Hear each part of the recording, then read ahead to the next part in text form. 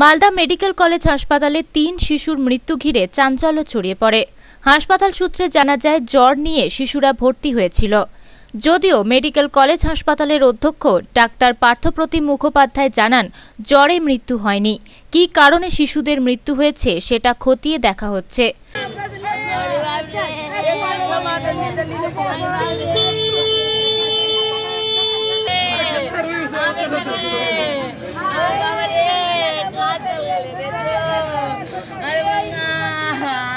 দুদিন ধরে জ্বরই ছিল দিয়ে ভর্তি করালাম এসে দিয়ে বাচ্চাকে ট্রিটমেন্ট করালাম তো বাচ্চা বলছে যে ট্রিটমেন্ট ভালো হচ্ছে না, তার মধ্যে কোনো ডাক্তার আসছে না ওকে বাচ্চার কন্ডিশন খুবই খারাপ।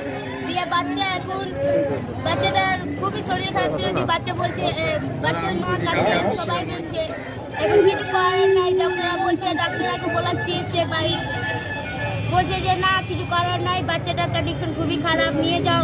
সে নিয়ে গিয়ে নিজের রিক্সে নিয়ে যাও। আমাদের কীভাবে আমি আমরা আসছি সুবিধার জন্য ওখানে সব নিজের মনে নিজে করছে কি কি ডাক্তার কি নার্স কি সব পড়ে লেখা আছে কি কি হয়েছিল জ্বরের সাথে কি কি ছিল? আরে শ্বাসকষ্ট শ্বাসকষ্ট ছিল বাচ্চাটার খুবই শ্বাসকষ্ট। বাচ্চার জ্বর অজ্ঞান দিতে ঠিক নাই কিছু ঠিক নাই এখানে কোনো ই নাই কোনো ট্রিটমেন্ট ভালো হচ্ছে না বাচ্চাটার এখন আমাদের বাচ্চা আমাদের হাতে বলছি ওয়ার্ডের ভিতরে কতজন ভর্তি আছে জ্বরে? অনেকজন ভর্তি আছে গোটা ওয়ার্ড ভর্তি একটাও সিট খালি নাই একটাও সিট খালি নাই। কখন মারা গেল বাচ্চাটা? বাচ্চাটা পৌনে ছটার দিকে মারা গেল। হ্যাঁ। আসো আসো আসো। এখানে বসো এখানে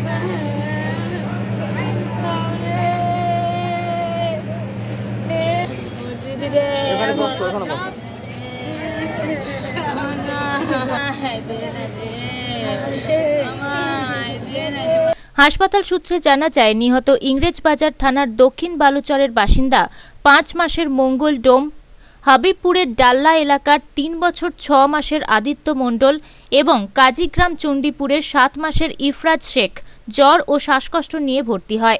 এই মুহূর্তে এই হাসপাতালের শিশু বিভাগে অনেক শিশু জ্বর ও শ্বাসকষ্ট নিয়ে ভর্তি আছে। হাসপাতাল কর্তৃপক্ষের উদ্যোগে এদিন বিশেষ বৈঠক অনুষ্ঠিত হয়।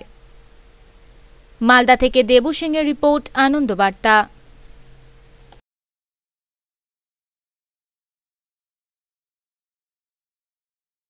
মালদা মেডিকেল কলেজ হাসপাতালে তিন শিশুর মৃত্যু ঘিরে চাঞ্চল্য ছড়িয়ে পড়ে।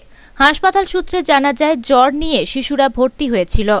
যদিও মেডিকেল কলেজ হাসপাতালের অধ্যক্ষ ডাক্তার পার্থপ্রতিম মুখোপাধ্যায় জানান জ্বরে মৃত্যু হয়নি কি কারণে শিশুদের মৃত্যু হয়েছে সেটা খতিয়ে দেখা হচ্ছে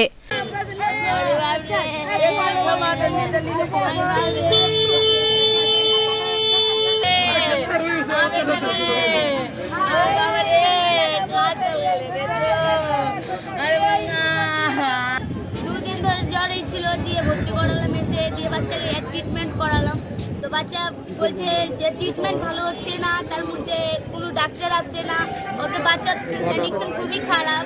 দিয়ে বাচ্চা এখন বাচ্চাটার খুবই শরীর খারাপ ছিল, দিয়ে বাচ্চা বলছে বাচ্চার মা কাছে সবাই বলছে, এখন কিছু করার নাই, ডাক্তাররা বলছে ডাক্তারকে বলাচ্ছি সে বাড়ি বলছে যে না কিছু করার নাই বাচ্চাটার কন্ডিশন খুবই খারাপ নিয়ে যাও। সে নিয়ে গিয়ে নিজের রিক্সে নিয়ে যাও। আমাদের কীভাবে আমি আমরা আসছি সুবিধার জন্য। ওখানে সব নিজের মনে নিজে করছে। কি কি ডাক্তার কি নার্স কি সব পড়ে লেখা আছে। কি হয়েছিল জ্বরের সাথে কি কি ছিল?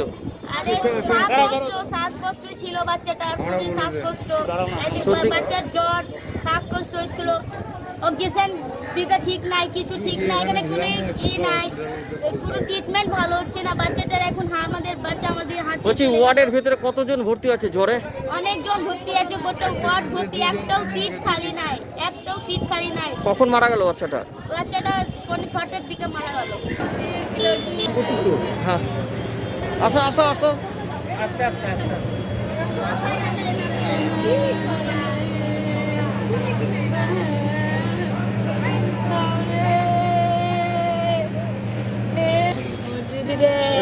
এখানে